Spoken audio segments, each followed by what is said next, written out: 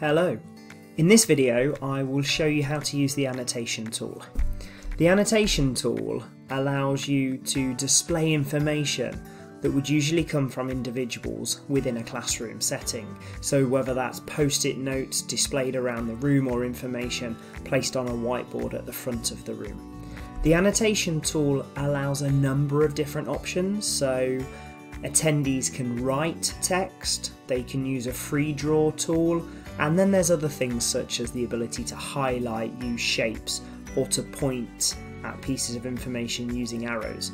There are others. The annotation can be saved by both the host and also by the attendee. Be mindful of where that is being saved onto your computer and within the settings it will let you know where that, that is. For an educator, I think this is quite useful for activities, such as where you're giving them some text or a picture and having them highlight on that various pieces of information.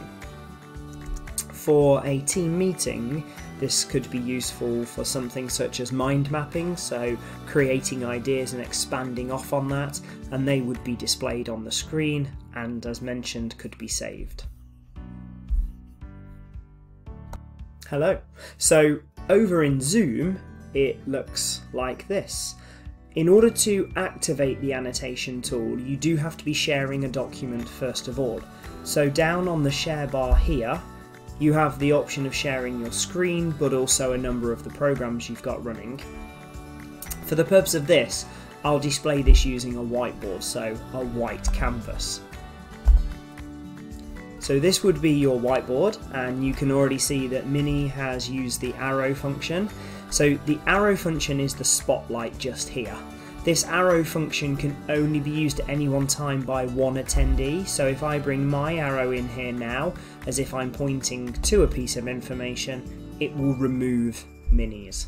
What you also then have is the text box, and learners also have these. You have draw, various different stamps, the arrow that I've just shown you. The eraser, format will give you colours, undo, redo, clear, a number of options in terms of how you get rid of those, and then save will take that and pop it into your folder. The select button just here allows you to move information around the screen. So if lots of people are placing lots of text onto a screen, it's likely a lot of those will overlap and the select bar allows you to move those around.